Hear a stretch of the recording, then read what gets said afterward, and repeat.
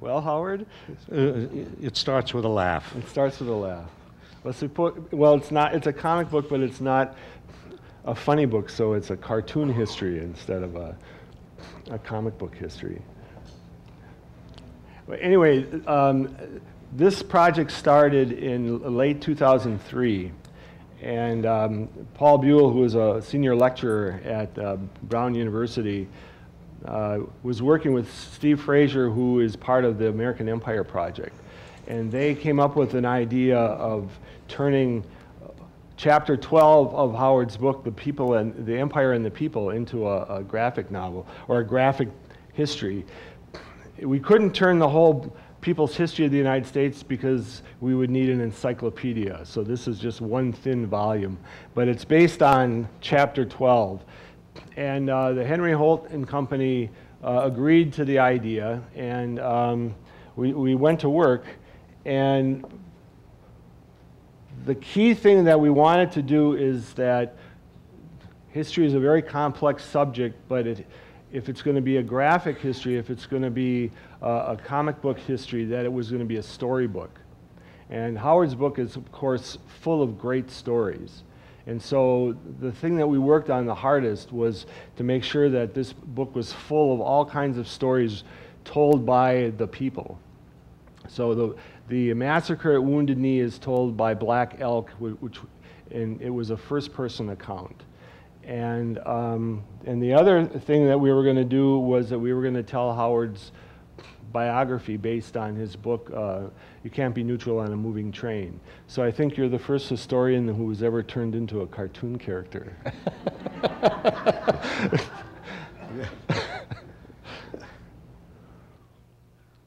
and it left him speechless. No. We had, we had a little, no, we, I seem to remember that at the beginning, uh, we had a little disagreement about how I looked, right? Well, I wanted to look better and smarter and stronger, right?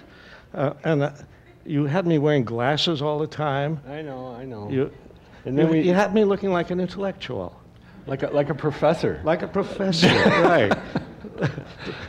I wanted to look like a a jock. well, you didn't you didn't tell me that. I, you know, cartoonists can do anything. Well, the hard part of it is is how do you caricature somebody that you lo- that you respect? Because I'm a political cartoonist. I draw politicians and evil bosses. So, you know, how do you do a flattering caricature? And I, I admit that that's the hardest thing. But I did redo 60 drawings and took off your glasses. You you you had me with several different noses.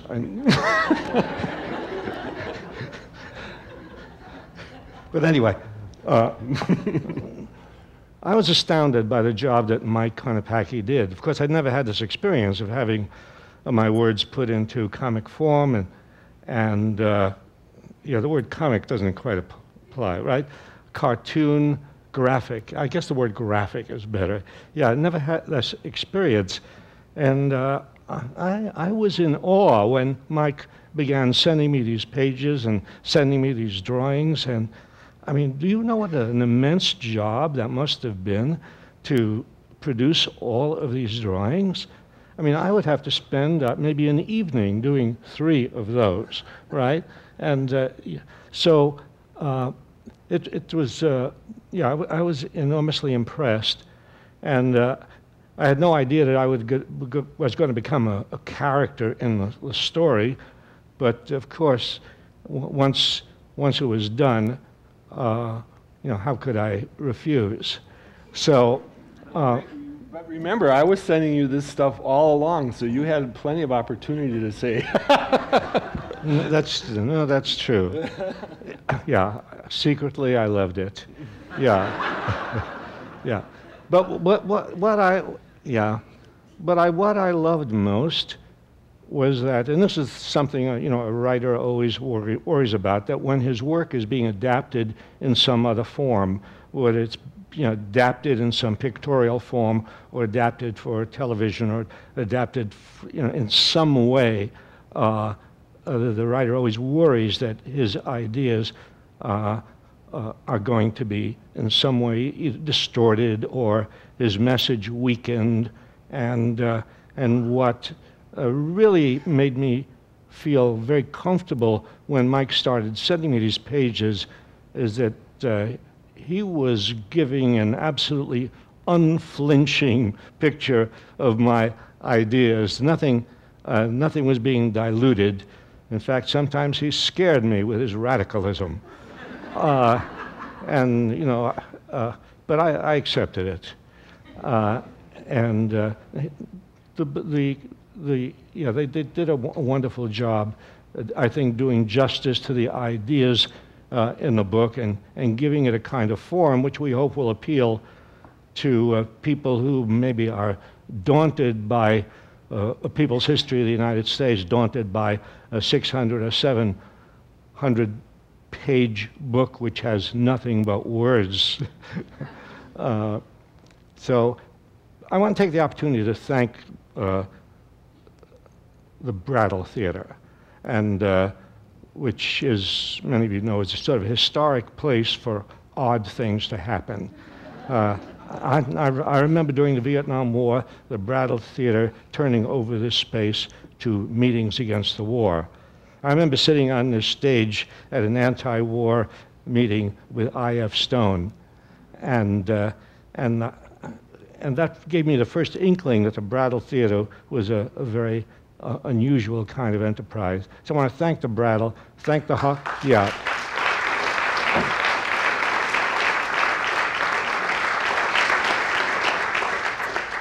thank the Harvard Bookstore, of course, and thank uh, Metropolitan Books, thank Mike Konopacki, thank my friends who are here. I think all of you are my friends. I was looking for somebody here who was not my friend. I'm still looking. Okay. Uh, but we, uh, I mean, basically the idea is we, of course, we want, we want this book uh, to give, by the graphics, to give a special vividness and a special excitement to the ideas that we think are so important, especially at this point in American history when it's not only the war in Iraq that we want people to think about, because a lot of people, obviously, in this country, more and more, have begun to think about the war in Iraq and, and have been appalled at what they have learned. And we know now that 70, 80% of the American people are opposed to the war in Iraq. But the idea of this book is not just to make people think about what is going on right now in Iraq, but the idea is to think beyond that uh, because after our troops are withdrawn from Iraq, there may be another attempt to send troops elsewhere. In fact, you hear people saying, you hear somebody saying, well, I'm, I'm sorry to say this, but there are presidential candidates who are saying, well, maybe we ought to take troops out of Iraq and send them to Afghanistan. Uh, no, we want in this book, as I've wanted in, in, in my book of people's history, uh, we want people to understand that uh, the, this war, that war, the other war, are part of a very long and persistent pattern in American behavior in the world. So that people are prepared not just to oppose this war or that war or the other war, but that people begin to get the idea that war itself needs to be abolished. That no longer, at this point in human history, no longer can we accept the idea that war, which is always the indiscriminate killing of huge numbers of innocent people, that war, no longer can we accept the idea that war is a solution for any of the problems we have in the world. That's what we want people to think about.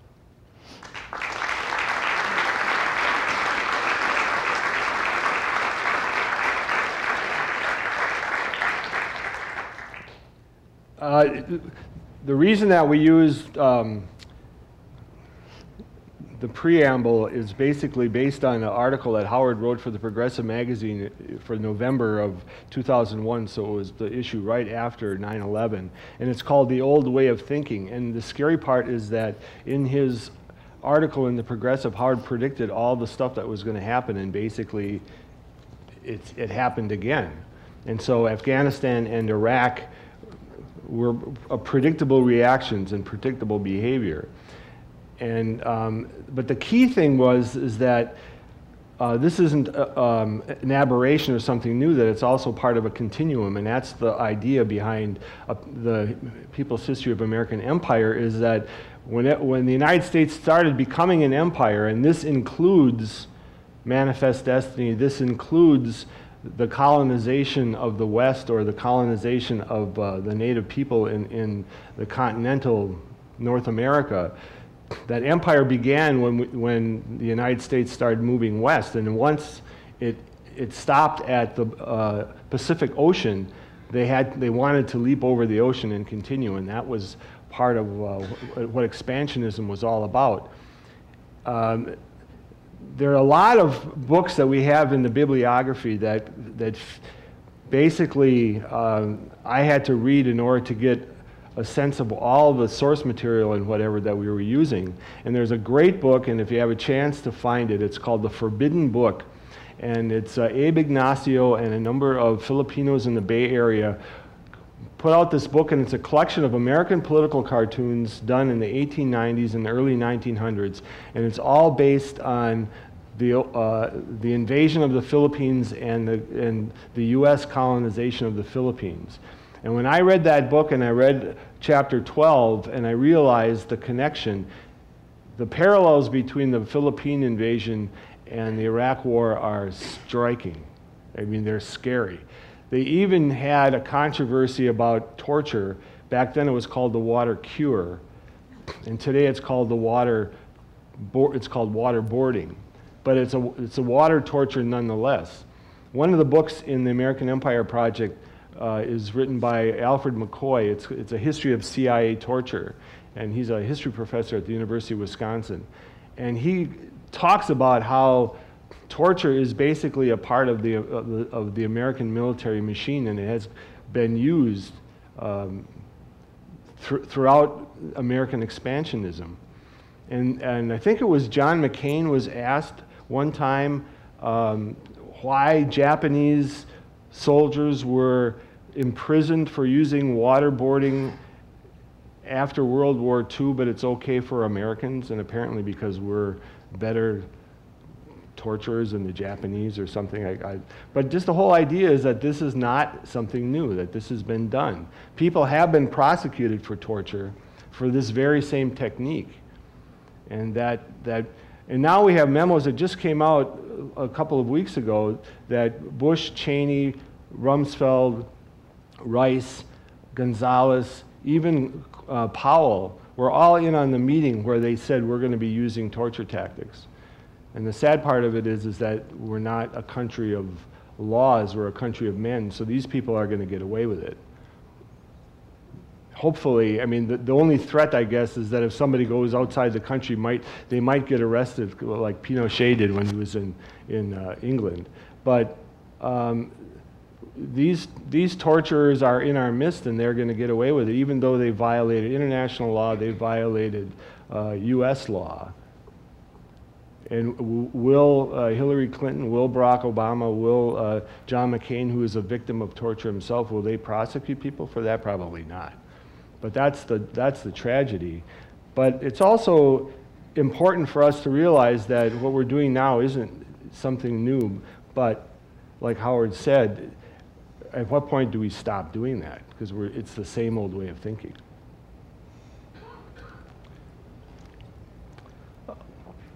I was, uh, I, I must say that I didn't really plan this book the way it's been arranged and organized. Um, and uh, I was very glad to see that it starts off with 9 11. Uh, and, and then goes back in, into the history. Because I, have always believed that the best way to teach history is not chronologically, uh, but to start with the present and then to go back into the past in order to illuminate uh, what you face in the present. Uh, and uh, because I always remembered how it was when uh, I was studying history, how they, um, it was all chronological. It'd always start, no, well, it'd start with Egypt. well, it'd start with, uh, or, or yeah, they might start with Columbus, yes, and then they'd move up. And the, te- the, the teacher uh, at the beginning of the class uh, would say, Why do we study history? We study the past in order to understand the present. And then they would never get to the present. so uh, I decided, no, that's, that's no way to study history. And, uh, and, and so starting with, with 9 11, which everybody has been concentrating on now for years, and then moving back in history to understand really the roots of 9 11, which lie in the history of American foreign policy. I thought that was a, a, a great thing to do, among other in, insights that you had. Yeah. Well, what we tried to do is that when you're doing a graphic book, number one, you, it has to be a storybook, but number two, we have to have a thread that runs through the whole thing. So then, of course, Howard being that thread, uh, we decided, well, what does Howard do? He speaks before a crowd. He, he talks about this. And, and I went to, to see him speak a couple of times in Madison. And um, so I thought, well, that would be the perfect place for him to start because now he can tell stories. And of course, a people's history is full of great stories. So, um, so we also had, because we were limited, even 288 pages is long, but we were limited because we, we had to do representational stories. So, what would be a good story to represent the colonization of the West? Well, there, uh, Black Elk wrote a memoir of his uh, experience at Wounded Knee, and I think it was done in the 1930s. And so that was going to be the representational story. And so then Black Elk tells that story. And then the, the interesting part of history is that you use actual photographs, you use actual graphics from the period as evidence, and also um, to, you, to bring that stuff in and, and to display that in the history. And so when we have photos of the actual grave where, where the uh, uh, people were burying the frozen dead after, this after the battle, there was a huge blizzard it was so cold, and then by the time they got there to bury the dead, the bodies are all stiff. We have a, a picture of Bigfoot frozen stiff, and then they just made a mass grave. And so we have, and that was actually a media circus because Hearst and Pulitzer sent wagon loads of reporters and photographers. So we found all kinds of archival photos, and uh, Frederic Remington was there drawing uh, pictures of it. So the, it was a media event, and like I think, think it was a third of the U.S. military was at Wounded Knee at that time. And so we found a lot of really great archival uh, cartoons, graphics, uh, and photos that give evidence to what, what was going on. I'm going to mention one thing. Um, on page 73, we had, and it was in the video, and there's a picture of the U.S. military standing on the bodies of the dead at the Moro Massacre. And this is based on uh, Voices of a People's History, where Howard has Mark Twain telling the, the story of the Moro Massacre, how they massacred 900 uh, um, Moro tribespeople from the southern part of the Philippines, and they're Muslims. And they resisted the Spanish, they resisted the Filipinos, they re- resisted the, um, the Americans as empire and they uh, escaped to the, a extinct volcano crater. And General Leonard Wood, who became the uh, governor general of, uh, of the Philippines, kind of like the Paul Bremer of his day, he was also a medical doctor, a surgeon, had his troops um, around the rim of the, of the uh, volcano and just blasted everybody with cannon and, and, and small arms. And there was a, uh, historian named Jim Zwick who did a great book on Mark Twain and the Anti Imperialist League. And he, the last 10 years of his life, he spent fighting the Philippine occupation. And so we found the photo, and, and uh, unfortunately, Jim just passed away not too long ago, but, but, but he sent me a really high resolution photo. And so this is kind of like the, this is the evidence that we have that needs to be seen. And so it's, that's the kind of stuff that is, uh, that made this book a lot of fun because we found old pictures of American troops uh, torturing people with the water cure. So, you know, there's, this evidence is out there. And so it was just a lot of fun to, to I mean, Google image search is amazing. you can find all kinds of stuff. And once you can, can guarantee that it's not on Wikipedia, that it's actually, that you can find an original source for it and you've got, you've got the evidence, then that's what we did in this book is we put in a lot of evidence of actual photos of, of things that we came across. And um, I think it adds, adds to the power of the book because you know, we're trying to show that this is, these are the things that actually happened. I think we wanted at a certain point, and I've just chosen the point, to uh, turn things over to the audience. And uh, whatever, whatever comments or questions uh, you have, okay? Uh, well, you, who is going to we can't actually see people very well, but. Uh,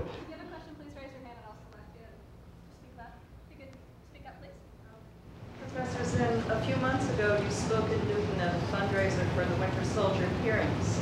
And outside there was uh, protests by a number of Vietnam vets who were very, very angry. And they were angry at us inside.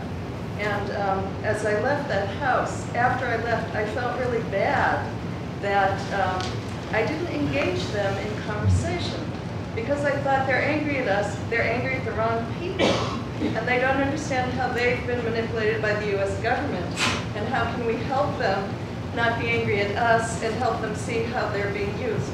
So I was really curious if this has been done in the United States about engaging people who disagree with us and helping them see how they themselves been used by the government. Well, I think, I think people in the anti-war movement, um, the anti-war movement consists of all sorts of people, and, the, and there are people who are more, uh, more inclined to engage those who protest against them, and other people who are more inclined to ignore them.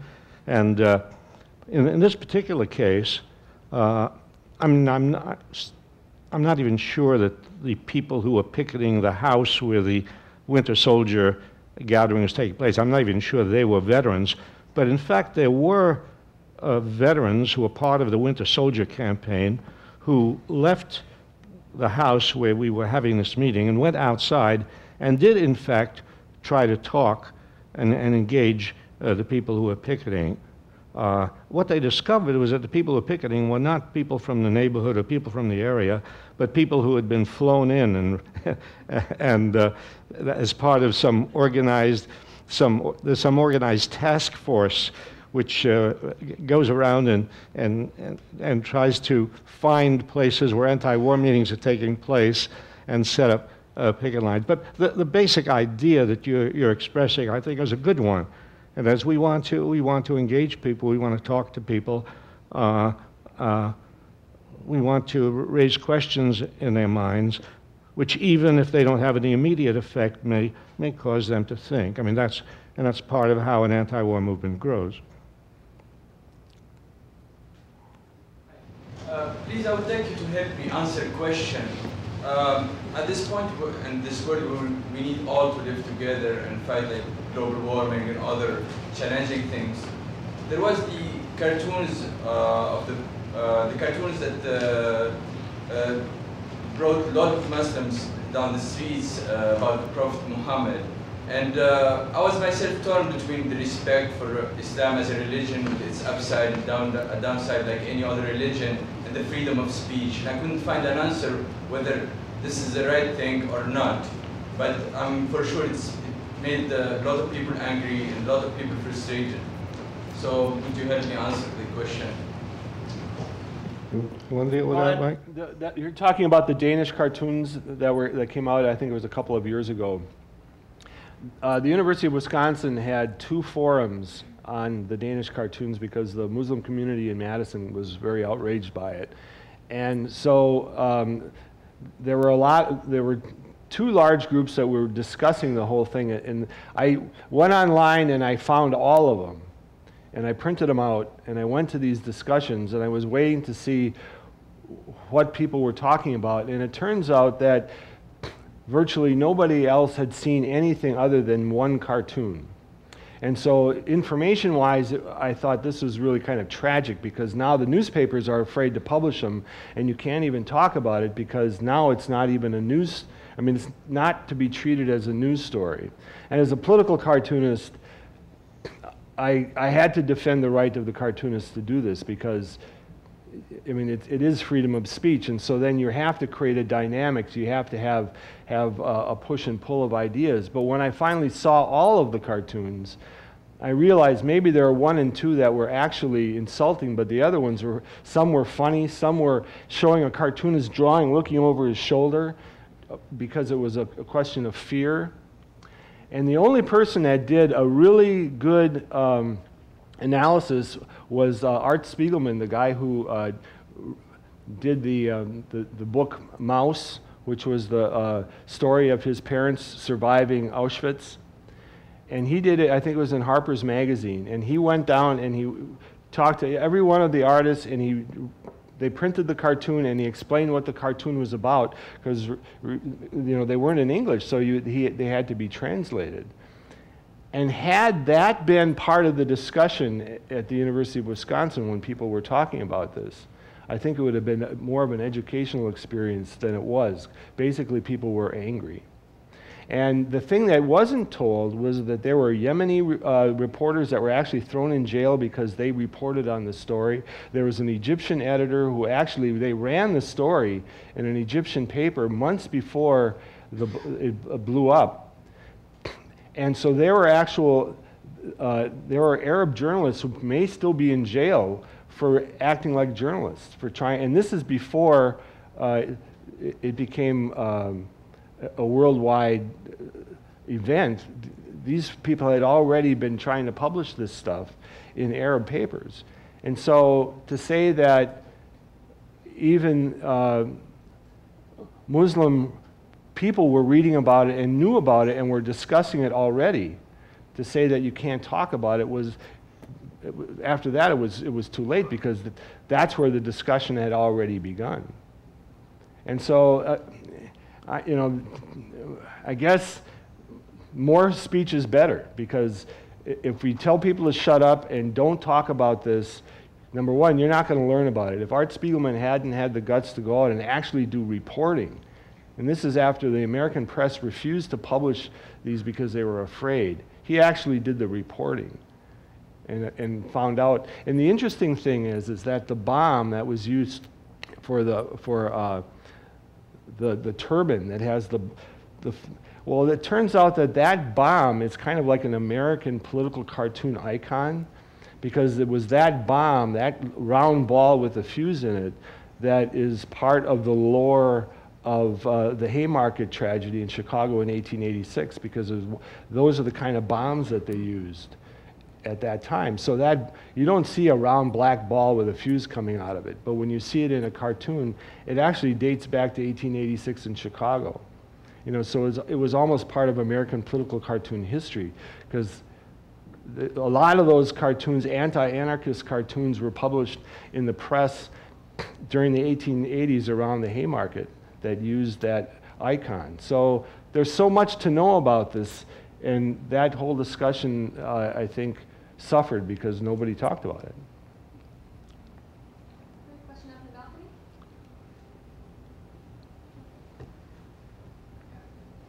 I was wondering, do you think this book would be suitable for children? Well, the, hard, the, the question was, do, uh, do, we think that this book is suitable for children? Um, recently, you had a, a, young people's version of A People's History printed. Yeah. And there was a great review in the New York Times that said it didn't talk down to anybody, but it talked to people. And I'm, that's what we're hoping that this, because I don't think we dumbed this down at all. I mean, we didn't have uh, English teachers that would tell us, well, this is the kind of language that you need for eighth grade, for high school, and so we didn't have that kind of guidance, but um, the woman that helped write and edit some of the stories, her name is Kathy Wilkes, is a, a labor writer and a labor editor. she's so efficient, and, and she was able to, to squeeze every word that wasn't necessary and put, because we were based, basing everything on, on dialogue balloons. And so I, I, hope that kids can use it, and I hope that history teachers can use it. Not, you know, this is the, isn't the be all and end all, but it should be part of the discussion, and I hope that it's accessible to young people. But I don't think it should be limited. I think it should, I mean, the interesting thing about the United States is that comics are, history comics and comics about political issues seems to be relatively new. Worldwide, this is an ancient form. People are using this all over the world. And uh, so we're just learning about it now in the last 20, 30 years. But this is a form that's used in Europe, South and Central America, Asia, Africa, all the time. So this is, um, graphic histories are for everybody. I suspect that when uh, somebody asks, is this suitable for young people, well, it could mean two things. It could mean, uh, will young people be able to read this and understand it? And, and I suspect maybe that was behind that question. But sometimes uh, people ask, is it suitable for young people? In the same way that people used to ask me about a people's history of the United States, is it suitable for young people? And what they meant was, should we really expose young people to uh, Christopher Columbus as a torturer, a murderer, a kidnapper? Should we expose them to Andrew Jackson uh, and Theodore Roosevelt for what they are, bloodthirsty killers? should we, should we, uh, yeah, are, are these kids too young for that?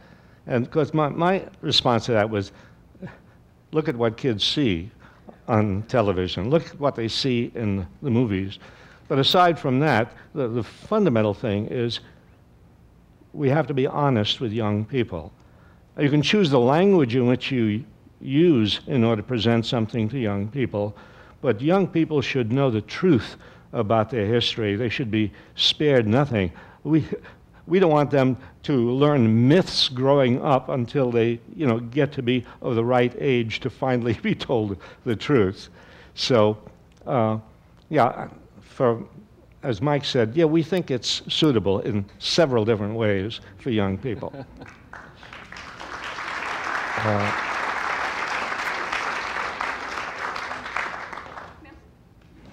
um, a lot has been written about art, including you, Howard, art and political struggle. Do, do you know any references on specifically political cartoons and, and political activism and struggle and the connections. We only have a half an hour left. well, I'm a student of, of, American political cartooning, and I think one of the things that I discovered uh, early on was um, I'm from Wisconsin, and there was a cartoonist who grew up in Monroe, Wisconsin. His name was Art Young and he became famous uh, as one of the cartoonists for the masses in uh, New York during from 1911 to 1917. Art Young uh, became, was a cartoonist in Chicago, and he worked with Thomas Nast at the Chicago Inter Ocean, and he did the definitive sketches of the Haymarket um, anarchists when they were in jail, and he did pamphlets opposing them. And uh, years later, when he became a socialist, he, he regretted having done that. But there are a number of books on, about art and politics, and especially if you study the cartoonists and the magazine, The Masses. I mean, if you can go online and find from the University of Michigan, I think they have some of the covers of The Masses. I think they have all of them digitized, and they're gorgeous. And they're John Sloan, who was one of the famous painters, he was one of the eight in New York in the early uh, part of the, the 20th century. Robert Minor, one of the definitive cartoonists that used crayon, he was probably, his artwork influenced Bill Mauldin and, and, and um, Herblock because it was the, the, the, crayon on, on coarse paper. And so the cartoonists of the masses were really influential on me because when I was reading about them, it was just, that's the kind of stuff I wanted to do. And I mean, there's a lot of really, I mean, political cartooning in the United States has a, a long history of, of, just some amazing stuff. We have a, a, little slideshow called The Incomplete History of American, of, of labor cartooning. And Gary Huck and I show this when we go to labor conferences.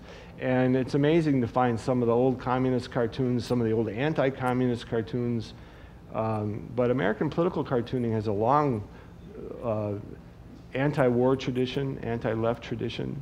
Can I just ask a little, because I wasn't clear, is there anything about the connection, the use of these cartoons in, by political movements? Do do you know what I mean? Not, Well, look at the look at the anti-war movement in the '60s. I mean, all the graphics, all the underground newspapers, that was political cartooning and, and political art. And they're, they're actually uh, there's going to be a show in uh, at the University of Wisconsin next year, uh, put on by Denis Kitchen, who's responsible for Kitchen Sink Press, and they're going to have all these cartoons, underground comics.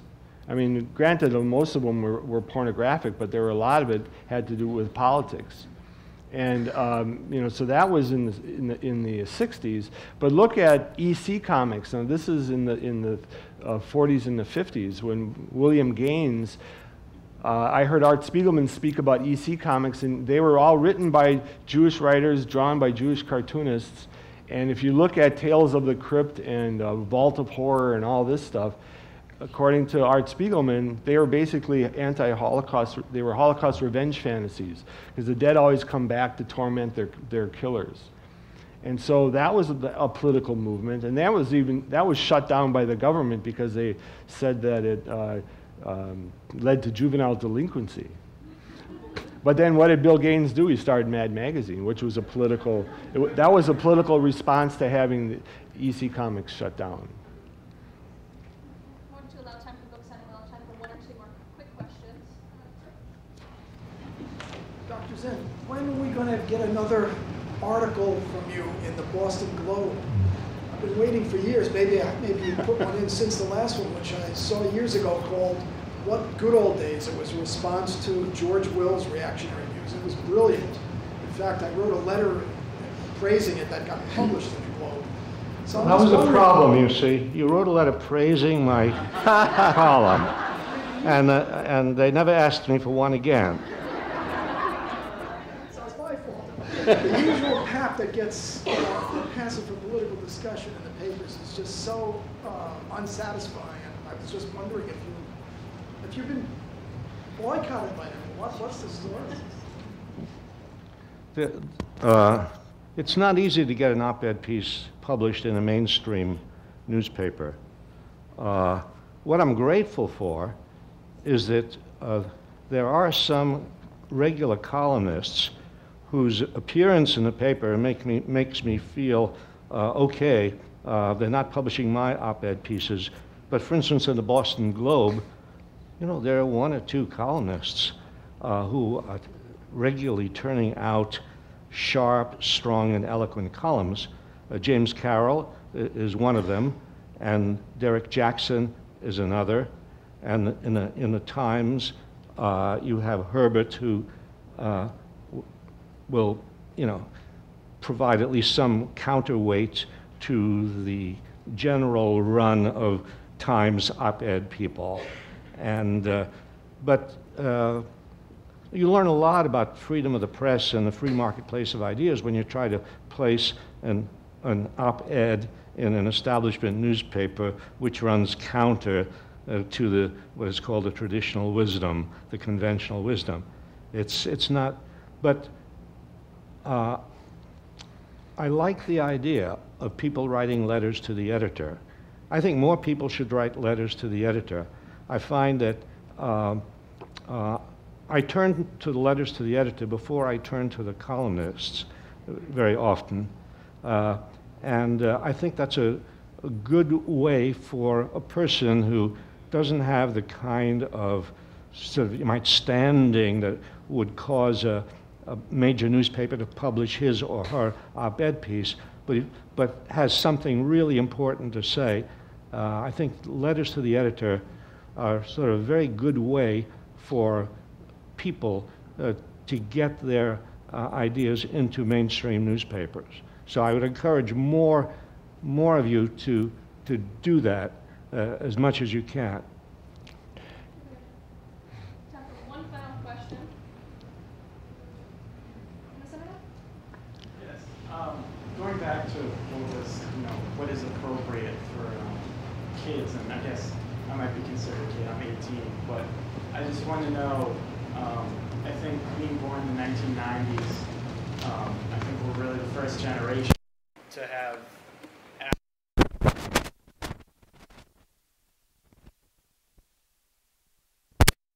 um, our generation, what we should get out of this, what you thought important for my generation.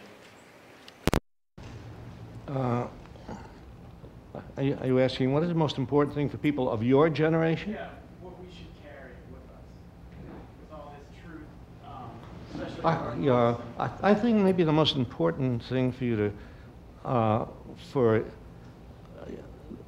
this coming generation, the present generation, for young people, the most important thing for them to understand is that even as they learn the sordid history of empires, the American empire and all the other empires, and, e- and even as they, they learn to see through the lies and delusions uh, spread by the rich and the powerful, I, the most important thing for them to learn is that there have always been people in history who have resisted these lies. There have always been people who have opposed what was going on. There, there's there have always been dissenters. There's always been a kind of underground. And, at certain points in history, uh, these dissenters will uh, grow, and they grow, and they grow to the point where they become a social movement, and then something changes. And therefore, the most important thing for anybody to learn, I think, is that uh, they should not be silent or, or despondent in the face of overwhelming power, but they should understand, people, readers should understand that we all have a power. Uh, if we persist, if we join other people, uh, if we don't give up, uh, we, we all have a power which at certain points in history becomes great enough so that the most powerful governments, the most powerful corporations cannot withstand it and they must yield. We've seen this happen in history and it can happen again.